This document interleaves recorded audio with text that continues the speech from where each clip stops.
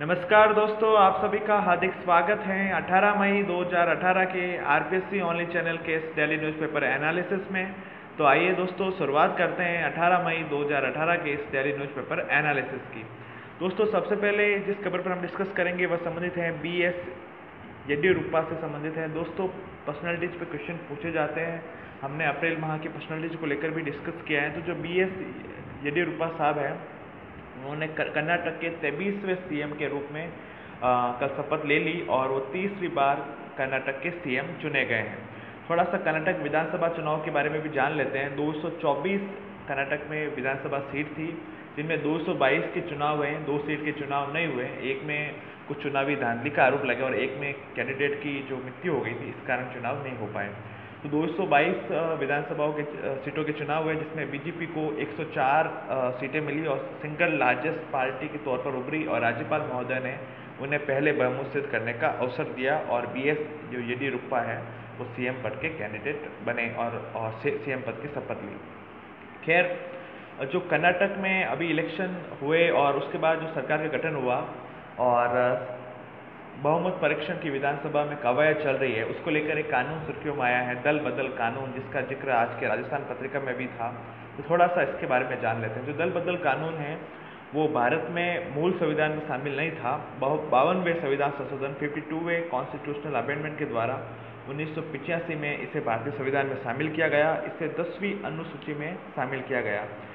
दल बदल जो ये कानून था एंटी डिफेक्शन लॉ था, इसके तहत जो भी चुने जाते एमएलए या एमपी उनको कुछ आधारों के आधार पर अयोग्य घोषित किया जा सकता था। तो ये जान लेते हैं कि वो आधार कौन कौन से थे जिनके आधार पर उन्हें अयोग्य घोषित किया जा सकता था। यदि कोई निर्वाचित सदस्य, यदि कोई निर्वाचित सदस्य ये ध्यान रखें कि बड़े स्वेच्छा से स्वेच्छा से किसी राजनीतिक दल की सदस्यता छोड़ देता है।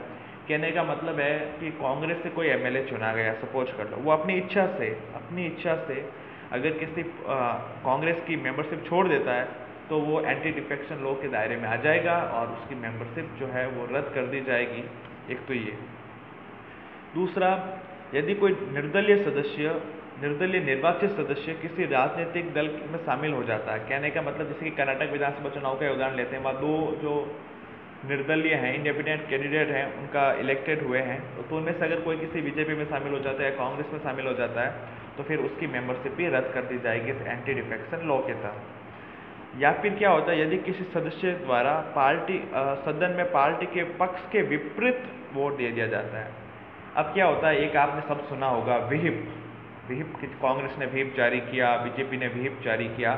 सपोज़ कर लो, कर्नाटक विधानसभा चुनाव में बहुमत परीक्षण चल रहा है और कांग्रेस ने विहिप जारी कर दिया कि हमारे पार्टी के जितने भी एमएलए हैं, वो कांग्रेस के पक्ष में वोट देंगे।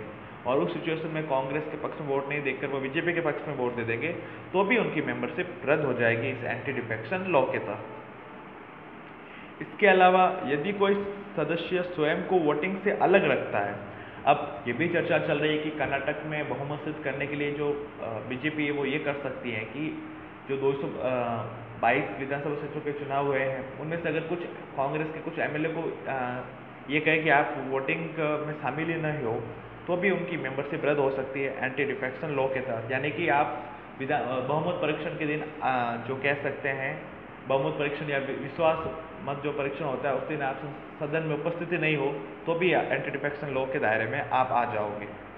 ठीक है? ये प्रावधान था। इसके अलावा जो उन्नीस में बावनवें संविधान संशोधन द्वारा दल विरोधी जो एंटी डिफेक्शन लॉ लाया गया ठीक है, उसमें यह भी प्रावधान था कि छः महीने की समाप्ति के बाद यदि कोई मनोनीत सदस्य किसी राजनीतिक दल में शामिल हो जाता है तो भी उसकी मेंबरशिप रद्द हो जाएगी। सदन में कुछ सदस्य मनोनीत भी होते हैं, जैसे विधानसभा में जो राज्यपाल हैं, वो एक एग्लो इंडियन को मनोनीत कर सकता है और अपने लोकसभा में तो लोकसभा में भी दो सदस्य मनोनीत होते हैं, राज्यसभा में जो बारह सदस्य हैं, वो मनोनीत होते हैं। तो अगर जैसे कि सचिन तेंदुलकर है ठीक है, उनको राज्यसभा में मनोनीत किया गया था। वो अगर छः महीने की समाप्ति के बाद अगर कोई किसी पार्टी में शामिल हो जाते तो उनकी मेंबरशिप भी रद्द हो जाती।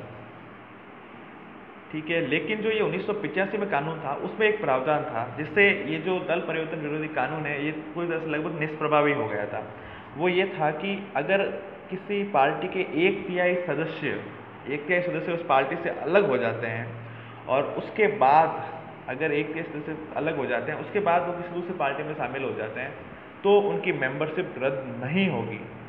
उनकी मेंबरशिप रद्द नहीं होगी और वो दल बदल सही माना जाएगा, ये प्रावधान था। लेकिन इस प्रावधान के कारण जो ये दल परिवर्तन, जो कानून है, जिस उद्देश्य से लाया गया था कि जो भारतीय राजनीति में आयाराम, गयाराम की संस्कृति आ चुकी है, उसको समाप्त किया जाए तो उस उद्देश्य में सफल नहीं हो पा रहे थे। तो इक्यानवा संविधान संशोधन किया गया 2003 में, इक्यानवा संविधान जो संशोधन है वो 2003 में किया गया और इसके तहत ये प्रावधान किया गया कि जो ये प्रावधान है, एक के सदस्यों वाला उसको हटा देना चाहिए। यानी कि अब अगर एक के सदस्य भी एक साथ अलग हो जाते हैं तो भी उनकी मेंबरशिप रद्द हो सकती है। लेकिन एक मज़े की बात यह है कि कौन सा दल परिवर्तन सही है, कौन सा गलत है, ये तय करेगा विधानसभा के केस में विधानसभा स्पीकर और लोकसभा के केस में लोकसभा स्पीकर। यानी कि कहने का मतलब इनमें भी मनमानी चल सकती है। जैसे कि 2008 में जो अशोक गहलोत सरकार आई थी, उसमें भी यही हुआ था कि कुछ छः सात करीब मेंबर्स थे, वो बहुजन समाजवादी पार्टी के टिकट पर जीत के आए थे। बाद में अशोक गहलोत जी ने अपनी पॉलिटिकल कह सकते हैं रणनीति का यूज़ करते हुए उन्हें कांग्रेस में शामिल करवा दिया था। लेकिन उनकी मेंबरशिप रद्द नहीं हुई थी। टेक्निकली उनकी मेंबरशिप रद्द होनी चाहिए थी। लेकिन चूँकि डिसाइड करने वाला कौन है? विधानसभा स्पीकर तो उनकी मेंबरशिप रद्द नहीं हुई थी। हालाँकि विधानसभा स्पीकर के डिसीज़न को, लोकसभा स्पीकर के डिसीज़न को कोर्ट में चैलेंज किया जा सकता है। थोड़ा सा हमने दल परिवर्तन कानून के बारे में बेसिक जाना। मेंस में पूछा जा सकता है प्री में भी पूछा जा सकता है। खैर बातें अगली न्यूज़ स्लाइड पर। यहाँ हम जो बात करेंगे, वो सब, सबसे पहले बात करेंगे धनुष के बारे में। जो डिफेंस टेक्नोलॉजी है हमारे सिलेबस में है धनुष के आ, क्या है ये देख लेते हैं धनुष एक स्वदेश निर्मित तोप है। क्या है? तोप है और वो भी स्वदेश में निर्मित है। और अब इसकी क्षमताओं की बात करें तो ये 40 किलोमीटर तक वार कर सकती है। ये इलेक्ट्रॉनिक सिस्टम प्रणाली पर आधारित है। यानी कि एक मिनट में ये चार से छः मिनट सॉरी एक मिनट में ये चार से छः जो गोले हैं वो दाग सकती हैं इलेक्ट्रॉनिक तरीके से। और जो धनुष जो ये तोप है, ये पहाड़ और जो रेगिस्तान, उसे कहीं पर भी तैनात किया जा सकता है। तो धनुष क्या है? एक तोप है, ये हमें पता होना चाहिए। नाग है, वो भी एक तोप है।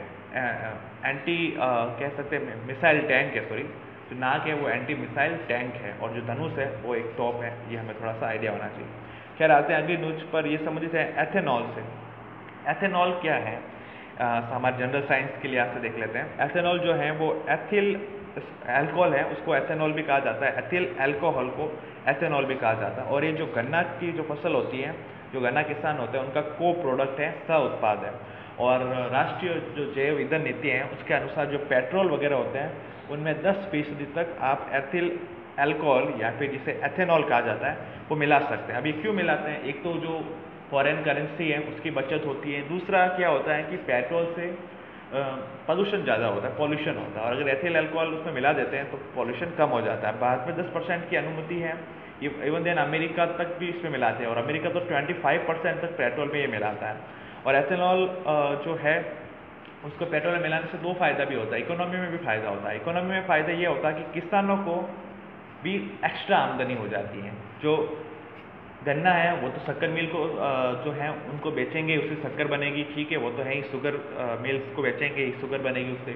लेकिन जो एथिल अल्कोहल गवर्नमेंट को बेचकर गवर्नमेंट किसानों को उन पचास रुपये देती है लगभग, एक लीटर के तो उससे भी उनको फ़ायदा होता है। तो ये भी थोड़ा सा जान लिया। खैर, अगली न्यूज़ पर आती है, संबंधित सीपी जोशी पर सीपी जोशी सुर्खियों में थे आज के पेपर में। C P Joshi Rajasthan cricket association के वर्तमान में अध्यक्ष हैं। तो ये हमें पता होना चाहिए। सी पी जोशी कांग्रेस के बहुत बड़े लीडर भी रह चुके हैं राजस्थान कांग्रेस के प्रदेश अध्यक्ष भी रह चुके हैं। दो हज़ार जब आठ के विधानसभा चुनाव हुए तो एक वोट से उनकी हार हुई थी। खैर, अगली न्यूज़ पर आते हैं। ये संबंधित हैं अमिताभ कांत से। अमिताभ कांत नीति आयोग के सीईओ हैं चीफ एजुकेटिव ऑफिसर तो ये थोड़ा भी पता होना चाहिए। नीति आयोग का गठन हुआ था, वो एक जनवरी, एक एक 2015 में हुआ था। इसका गठन हुआ था एक जनवरी 2015 को। खैर, अगली न्यूज़ पर आते हैं, ये समझते हैं, अमेरिका से। अमेरिका दो पहले भी सुर्खियों में रहा है। अमेरिका सुर्खियों में क्यों रहा है? क्यों? अमेरिका ने हाल ही में भारतीय मुद्रा रुपये को निगरानी सूची में डाल दिया है। अब अमेरिका वापस सुर्खियों में क्यों अमेरिका में हाल ही में जो खेल सट्टेबाजी है, उसको कानूनी मान्यता दे दी गई है। यानी कि सट्टेबाजी आप करोगे, वो अपराध नहीं है। भारत में खेल सट्टेबाजी अपराध है। बाद में भी ये वहाँ काफ़ी समय से चल रहे हैं कि जो स्पोर्ट्स में जो भी सट्टेबाजी होती है, उसको कानूनी मान्यता प्रदान कर दी जाए। अभी एक आप विज्ञापन देख रहे होंगे टीवी वगैरह पर ड्रीम इलेवन जो आईपीएल चल रहा है ड्रीम इलेवन तो ड्रीम इलेवन भी एक तरह की सट्टेबाजी है। हालाँकि टेक्निकली ये सट्टेबाजी नहीं है, लेकिन एक तरह की ये सट्टेबाजी है। खैर, आते हैं अगली न्यूज़ पर। यह संबंधित है भारत और पाकिस्तान के बीच रिलेशन से थोड़ा सा एक डेवलपमेंट न्यूज़ है। अभी न्यूज़ बनी नहीं, लेकिन थोड़ा सा ध्यान में होना चाहिए। पाकिस्तान में सत्ता के, आपको पता है, दो स्तंभ हैं। एक तो है पाक सेना और एक है पाकिस्तान की गवर्नमेंट पाक सेना वह हमेशा से डोमिनेंट रही है, उनका मज़बूत रोल रहा है तो पाकिस्तान सेना ने इच्छा जताई है कि वो भारत से बातचीत करना चाहती है। थोड़ी सी न्यूज़ है, हमें पता होना चाहिए। तो दोस्तों, इसी के साथ 18 मई 2018 का डेली न्यूज़पेपर एनालिसिस यहीं समाप्त होता है। इसको सुनने के लिए आप सभी का बहुत बहुत आभार बहुत बहुत धन्यवाद।